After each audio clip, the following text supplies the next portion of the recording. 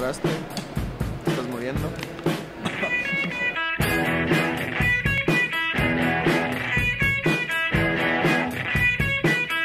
Bueno, entonces, segmento de trailers. Tenemos full trailers. Empecemos con el más grande de todos, el que seguramente ustedes vieron, el que seguramente les emociona. Capitán América Civil War.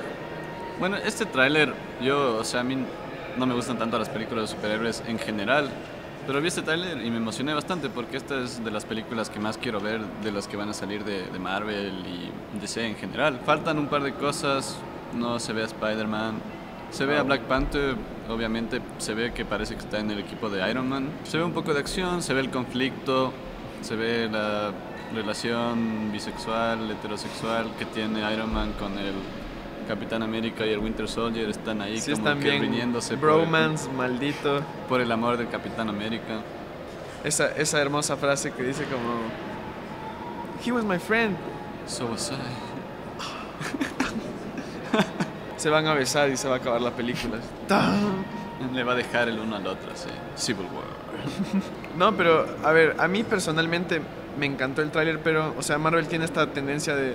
El primer tráiler lo hacen como que ponen lo más oscuro, lo más denso y parece que todo está en riesgo en esta película, pero después en la película solo ves y es un, un tono súper ligero, full comedia. Así que... Claro. No, creo que esta película sí va a ser de las más heavies porque... Como los hermanos Russo. Que Los hermanos Russo. Winter Soldier y ese Winter Soldier. Winter Soldier es de las mejores películas de Marvel Studios. Está en mi top 3, creo. Es de las más oscuras y, o sea, la más diferente en general, creo, Ajá. en tono de las otras. Y esta en verdad se siente como Winter Soldier 2, así. Igual seguramente va a tener su sentido. comedia. Esperamos ver a Spider-Man porque Spider-Man es... Para muchos, la gente no sabía esto, no sabe esto ahora, pero antes Iron Man no era nadie. O sea, Iron Man... Claro, ¿Quién es Iron Man? Preguntas cuál es tu superhéroe favorito de Marvel y todos decían Spider-Man. Spider-Man, Spider-Man obviamente. es, es el más famoso todavía, pero ahora Iron Man ha subido full de popularidad. Y Capitán América también. Capitán América también. Y no vimos a Spidey en este tráiler. Yo no quiero verlo en ningún tráiler, la verdad. ¿No? Como que si sale en la película nada más sería perfecto. ¿Y crees que va a salir mucho tiempo o crees que va a estar No. 10 minutos máximo? Sí. Yo creo que va a estar igual, como dices, 10 minutos máximo. Va a ser un. como que un setting up para Spider-Man, pero. hasta tal vez salga solo al final, así, no sé. Pero, ¿sabes qué me encantó este tráiler? Más que nada, que como que el gran clímax del tráiler no es la gran escena de acción con los miles de edificios cayéndose o. o no sé, el monstruo gigante destruyendo. O sea, O son sea- tres personajes peleando en un parqueadero. Claro. Eso es todo lo que necesitamos. Eso es lo que más me emociona. Es una pelea de personajes. es claro, nos reímos de esto, pero o sea, es emocionalmente fuerte. O sea, Capitán América y Iron Man están. Y el Capitán América y Winter Soldier están atacándole a Iron Man. O sea, Iron Man está peleando por sobrevivir. No sabemos cómo va a acabar, no sabemos cómo empezó la pelea, pero están. Están peleando, o sea, están Sí. atacándose. Y además como que, recuerda clásicas películas de superhéroes, como que qué momentos son los más, como que, que más te importan. No son las partes de Avengers que están peleando contra mil aliens es que no importan. Es el cuando, héroe está en su momento más bajo. es cuando el héroe está en su momento más bajo y está peleando uno a uno con otro personaje. Y ahorita son dos héroes, entonces creo que con, como que los sentimientos se van a envolver más que nada en esta película que en Yo creo otra. que aquí tienen una gran oportunidad para matar a alguien.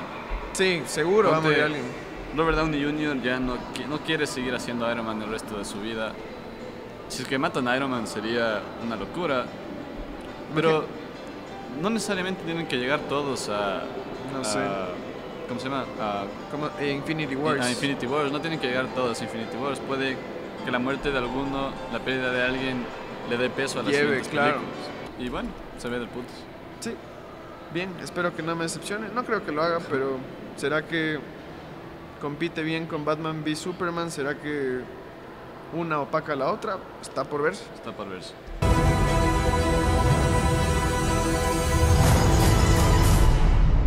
De ahí tenemos Ali Giant, la tercera película de la serie de Divergent. Allegiant, Allegiant nos vale. O sea, vi este tráiler y empieza con la historia de amor, los manes escapan. No he visto ninguna de las otras películas, así que perdonarán la ignorancia. Pero el tráiler cada vez se volvía más complicado y más complicado y más complicado y pasaban Hay tantos cosas personajes en esta película. extrañas, mezclaban humor medio malo con acción y efectos especiales que se ven ridículos. Sí. O sea, sin ofender, pero realmente se ven ridículos. O sea, comparan a Hunger Games con, con estas de Divergente, pero todos los muchos planos veía y decía como que jamás en la historia de Hunger Games habría un- una animación por computadora tan ridícula como esta, como que no tanto en que esté mal animado, sino que ya el diseño en sí es Sí, estúpido. el diseño sí se nota bastante que es CGI. O sea, ponte. A mí no me gusta Hunger Games particularmente. Me gusta, no me parecen malas películas. A mí también me gusta. Pero hacen muy bien el futuro de distopia. O sea, es futurista. Algunas cosas sobresalen, digamos, los proyectores en las casas se ven un poco ridículos. Pero cuando vas al Capitolio tienes este contraste y no es. No se ve tan fuera de lugar como un edificio súper raro, súper CGI en la mitad de la nada. O esa nave que parece... No sé qué chuchas es eso. O sea, y esto no lo digo solo yo porque no me gusta de por sí. En el, en el video del tráiler, full fans del- de, la- de los libros dicen que están cambiando todo. O sea, que lo que pasa en esta película no tiene nada que ver con los libros. Ni idea, la verdad. Entonces, están volviendo locos. Demasiado complicado. Yo a la mitad Sí. del tráiler no tenía idea qué estaba pasando. Yo espero que ya con Maze Runner colapsen esta tendencia de, de adaptaciones de películas, de novelas adolescentes, de futuros postapocalípticos. Ya, ya, por favor, muchachos. Y esta, esta es la última. otra cosa. La sí.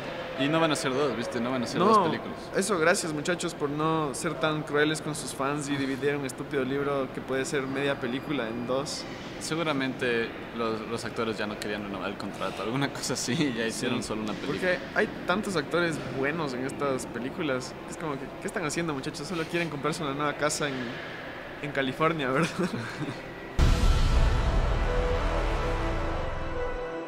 Bueno, hablando de buenos actores, tenemos una nueva película de James Franco. Dirigida por Wim Wenders. ¿Sigues haciendo películas, viejo? Wim Wenders es una persona bastante activa, aunque no lo creas. Está bien, estoy, estoy familiarizado con su trabajo más antiguo. Sí, o sea, yo también me sorprendí porque estaba viendo el tráiler y el tráiler, no, esto no refleja necesariamente la película, pero el tráiler era lento Sí. y lento y, mm, diálogos más o menos y no pasaba nada y no se entendía bien lo que No, y pasaba. no solo no pasaba nada, o sea, se sentía que no pasaba nada, pero creo que cubrieron más de la mitad de la película Sí, en el tráiler. Y solo al final sale Vin Wenders y dices, ah, chuta. Es como Ajá. que- Bueno, más o menos lo que caché es que James Franco es un, Un escritor. escritor. frustrado y deprimido que vive en medio de la nieve. Sale un día a chilear, a manejar, atropella a un niño que parece que no le pasa nada. Eso es lo que es lo más raro, porque casi atropella a un niño, luego va y le deja al niño donde la mamá, y la mamá se va corriendo a buscar a otro niño, y es como, ¿qué, qué chuchas? ¿Qué otro niño? ¿Qué hizo James Franco? Yo- tal vez en edición te, están tapando algo súper importante que por pasa en la por eso digo que el tráiler puede ser culpa del tráiler. Tal vez mató tres niños. O sea, parece que no le atropella, pero tal vez va y le abraza al niño y abajo del auto hay otros cinco niños muertos. es como que, que no se ven. Y eso es lo raro, porque luego el man empieza a escribir su mejor libro, su mejor libro, porque, por la tragedia. Pero qué tragedia, Como ¿no? que se inspira por la tragedia, pero según el tráiler casi atropella a un niño. Y no atropella nada, o sea, no hay tragedia y parece que se enamora de la mamá del niño, o sea, todo parece estar bien. Pero Digamos, el tema de la película, que es aprovecharse de, del sufrimiento de otros de para otros ganar para, propia- para salir adelante, Ajá. digamos, como sea, es chévere. La foto se ve del puta, se ha oído mucho de que la foto está muy buena. James Franco... No hay se- error. No hay error con James Franco. ¿Quién más sale? Rachel McAdams también. Y estaba esa francesa de Nymphomaniac y de I'm Not There. I'm not there, ajá. No sé cómo se llama. Yo tampoco. Pero estaba ahí, sigue trabajando la señora. Hay que esperar y ver realmente la película porque el tráiler estuvo bien decepcionante. Seguramente Vin Wenders no tiene absolutamente nada que ver con el tráiler. Ajá, o sea, se ve como el mal tráiler de una buena película. Sí, de una buena película.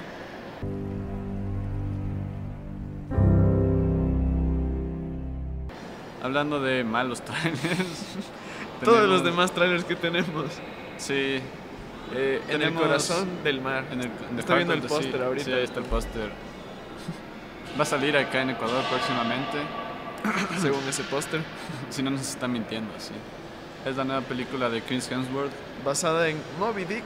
basada en historia real en la que se basa Moby Dick, alguna estupidez así dicen. Y este tráiler, la historia fresco, o sea, el lo claustrofóbico del mar, esta venganza, o sea, Moby Dick es una película de venganza, sobre Claro, todo. pero, o sea, las ballenas no se ven particularmente realistas. Todo se ve tan falso en esta película.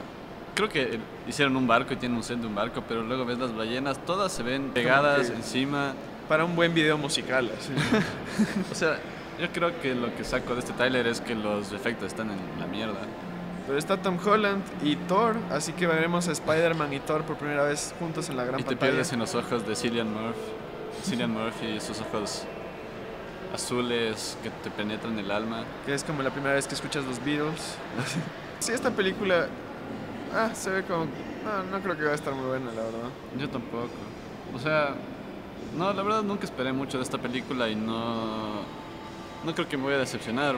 Y el tráiler ya te muestra que está medio mal todo. Así que véanla, solo en cines. Próximamente en. Cinemark.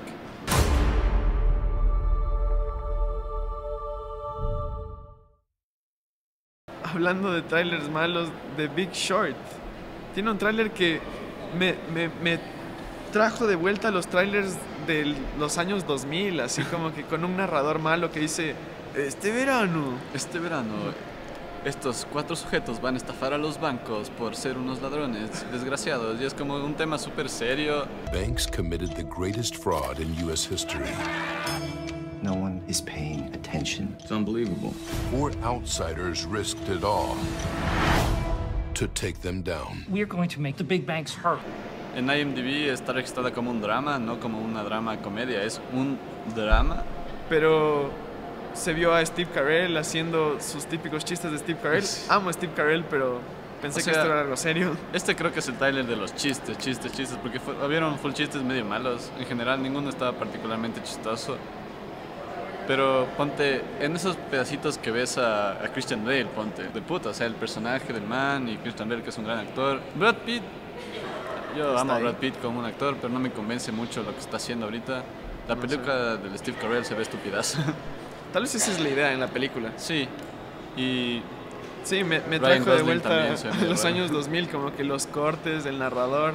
Solo estaba pensando, todos estos narradores que hacían para los años 2000, ¿dónde están ahora? está muerto. Fueron reemplazados por los ¡pum! de Inception. Mal trailer, posiblemente buena película.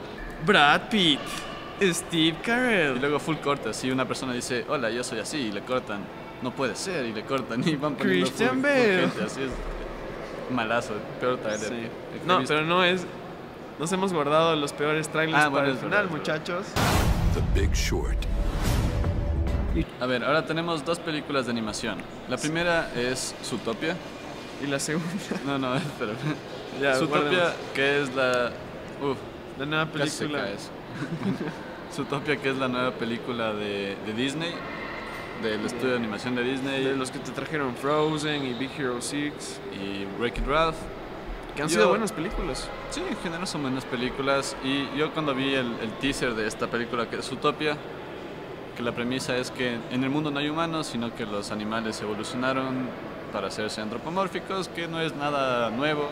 Se ha hecho hasta la muerte. Pero la película es de esta conejita que es una policía y de este Zorro. zorro, que es un... alguna especie como de malandro así. La cosa es que todo el tráiler es un solo chiste súper estresante. Que supongo que es el tipo de chistes que de niño me habría cagado de risa. Como yo, que de, yo no sé. de seis años así. ¿Tú crees? A mí más bien me parece... O sea, Pero, pero ahora lo ves y es como que ya, ya lo entendí. Es- y ese es el chiste, ya, pero... Ah, pero hablemos del chiste. O sea, los manes van a una agencia de, de tránsito donde sacan las licencias y los que atienden, los burócratas, son perezosos. Osos dices, perezosos. Ah, chévere, perezosos, ese es el chiste. Y luego van y el perezoso se demora mil años en hacer todo y luego le cuentan un chiste y luego él repite el chiste y es como que eterno. O sea, no se acaba. Dura dos minutos el trailer, parece que dura Y diez. ese es todo el chiste, o sea, eso es todo lo que sale del tráiler, ese es, ese es todo. O sea, yo no sé, tal vez creo que eso no va a salir exactamente igual, porque me parece que No. tiene el pacing de la película como que se da de cara contra una pared, porque es como que qué chuchas.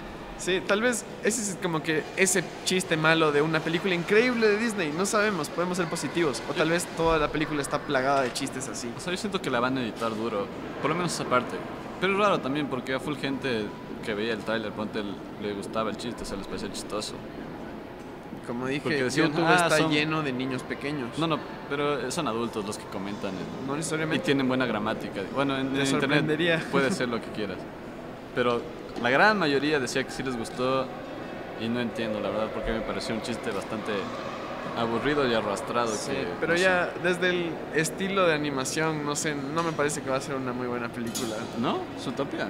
A mí me parece que está súper bien animada. No, no, está bien, pero ya, no sé, O sea, el es de- arte, la solo des- es demasiado colorido, no sé, muchos animales. Sí, un poco. A mí la, la conejita La- me parece adorable. La conejita se llama Hop, es como que, O sea, puede- es que pueden es- ponerle otro nombre a los, a los es- conejos, es, por para favor. niños.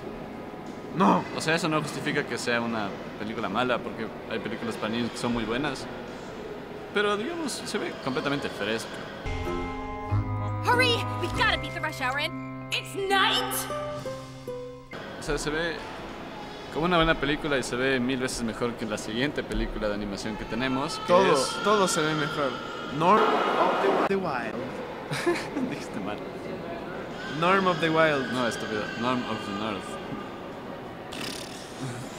Norm of the North es otra película de animación de animales. Esta vez es un oso Wow. polar y un montón de, no sé qué carajo son, Y, hamsters que van a la ciudad y hacen locuras. y chistes de pedos y música pop.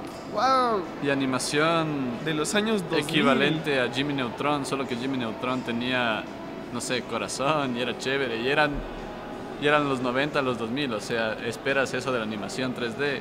No esperas eso del 2016. Porque no todo el mundo es Pixar, pero esa película se ve dolorosa de ver, la animación es dura. Ah, es, dura. es para esos papás que van con sus- el cine a sus hijos y es como que, a ver, ¿qué, qué puedo ver con mi hijo? Ya, eso, vamos. Y claro, justo sale en Entra, enero, que ya. es cuando la mayoría de películas van a morir. Porque O sea- en enero no va tanta gente al cine. En- claro, enero es como que justo pasa Navidad y es la temporada más baja del cine, entonces ahí es donde Hollywood se pone sus películas más malas. Lamentablemente, aquí las películas llegan en diferente tiempo, Esto va a entonces salir en el verano. diferenciar las películas de enero aquí es un poco más difícil. Yo, si, Cuidado. si es que pensara con mi corazón, diría que esta película no va a salir acá porque es tan mala que no va a salir. Fan, estoy grabando Cante Cuadro, maldita sea. Ya. que es tan mala que no va a salir aquí. Pero cuando pienso con el cerebro es de esas películas baratas de exportar, de, de traducir, porque la animación está hecha verga, que no tienes que coordinar nada con nada y que los papás van a ver por ver con los hijos, por, para distraerles dos horas. Y los hijos que se van a callen. olvidar después de un día. Me dio ébola este trailer. O malaria como al No, malaria de me dio de Ali Giant. Of the North. Y eso es todo, muchachos. Este es el cine. Estamos en el cine, seguramente tuvimos mucha música de fondo, pero ya nada, para cambiar un poco, ver si es que hacemos algo en el cine otra vez. No creo. Así, no, nos, creo. no nos quisieron mucho. Ah, aquí. ¿qué? ¿Nos están sacando a la fuerza? No. Tal vez tengamos invitado la próxima semana, hay que coordinarlo con él. Cante cuadro out.